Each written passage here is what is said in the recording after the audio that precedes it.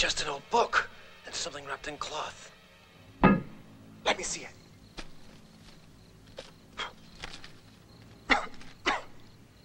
Well, what's it say?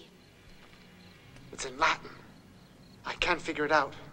Yes, I can. Wait a second. It's written by Nostradamus.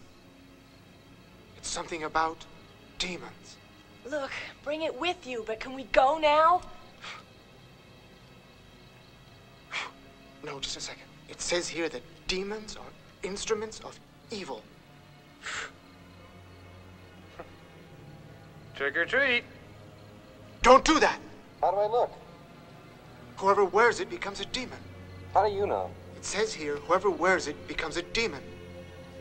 And an instrument of evil. Yeah, sure.